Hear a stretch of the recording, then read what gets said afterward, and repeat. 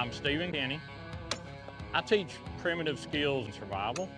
I'm a woodsman, and a knife is the number one thing that I grab before anything. What I brought was a modified Kopis. This one is two-handed. It has a recurve, it's a 14-inch cutting edge. It's